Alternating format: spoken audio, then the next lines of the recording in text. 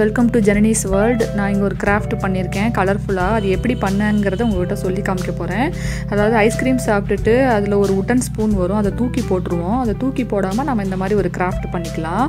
இது வந்து இந்த ஸ்கூல் ப்ராஜெக்ட்ஸ்க்கெலாம் நம்ம இந்த மாதிரி பண்ணலாம். நல்லாயிருக்கும் இதுக்கு தேவையானது ஒரு க்ளூ அதுக்கப்புறம் வந்துட்டு colour pencils normal black colour pencil அப்புறம் தேவையான நம்மளுக்கு என்ன கலர்ஸ் வேணுமோ அந்த கலர் பென்சில்ஸு ஒரு சிசரு அதுக்கப்புறம் பார்த்துட்டிங்கன்னா நம்ம அந்த ஐஸ் அந்த ஐஸ்கிரீம் சாப்பிட்டதுக்கு அதுக்கப்புறம் அதில் இருக்கும் இல்லையா அந்த ஸ்பூன்ஸை தூக்கி போடாமல் இந்த மாதிரி எடுத்து அதை ரெண்டாக கட் பண்ணிக்கோங்க. அதோட ஹெட்டையும் டெய்லையும் கட் பண்ணி எடுத்துட்டு உங்களுக்கு என்ன கலர் நீங்கள் என்ன அந்த ட்ரெஸ்ஸுக்கு கொடுக்க போகிறீங்களோ அந்த ட்ரெஸ்ஸுக்குரிய கலரை அதுக்கு கொடுத்துருங்க. இப்போ நான் இதில் வந்து ரெட்டு அடிக்கிறேன்னா ரெட்டும் க்ரீனும் கான்ட்ராஸ்ட்டாக நான் அடிச்சுக்கிறேன்னு வச்சுக்கோங்களேன். என்ன கலர் வேணால் கொடுக்கலாம். அது நம்ம இஷ்டம்தான் நல்லா ஈவனாக ஒயிட் ஸ்பேஸ் இல்லாமல் கொடுத்துக்கணும்.